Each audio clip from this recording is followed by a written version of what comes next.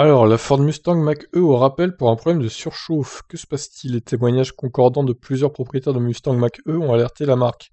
Le constructeur américain va procéder à un rappel pour un problème lié à une surchauffe due à la régénération. Selon Motor.no, plusieurs exemplaires ont rencontré le même problème après avoir emprunté la célèbre Eagle Road en Norvège. Cette route se présente comme un ensemble d'épingles au fort dénivelé, et le Mustang Mach-E a mal réagi à ce tronçon. Euh, ça, c'est ballot, ça. Plusieurs propriétaires ont indiqué avoir subi un arrêt soudain de leur SUV électrique. Ils ont dû attendre un dépannage pour rejoindre un atelier Ford afin de leur remettre, leur Mustang Mach-E en état de marche et reprendre la route. Il apparaît que le premier modèle exclusivement électrique de Ford a subi des surchauffes à cause de la régénération. Le directeur de la Fédération norvégienne de l'automobile confirme six dépannages du même modèle en 14 jours. Ah oui, clairement, il y a un problème là. Ford va donc intervenir par le biais d'une mise à jour. En effet, c'est un bug logiciel autour du système de sécurité qui déclenche l'arrêt complet du Mac E.